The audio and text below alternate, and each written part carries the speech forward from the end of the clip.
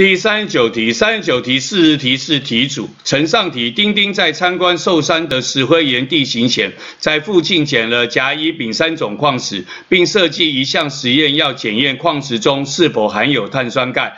他将此三种矿石称取相同质量后，分别置入如右图的实验装置中。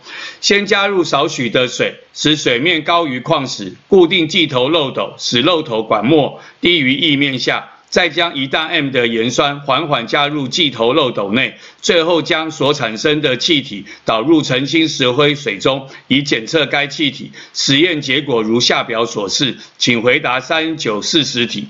第三十九题是问，依据丁丁的实验结果。可以推论甲、乙、丙三种矿石中，何者含有碳酸钙？我们晓得碳酸钙加稀盐酸会产生二氧化碳，那么首先要挑选的是跟盐酸反应会产生气体的，所以我们的乙跟我们的丙。都是跟盐酸反应会产生气体，而我们产生的气体是二氧化碳。二氧化碳通入澄清石灰水中，会使澄清石灰水变浑浊。那么只有我们的乙会使我们的澄清石灰水变浑浊。所以我们发现，只有乙是完全符合符合我们的碳酸钙加稀盐酸的反应的结果。所以第三十九题问我们说。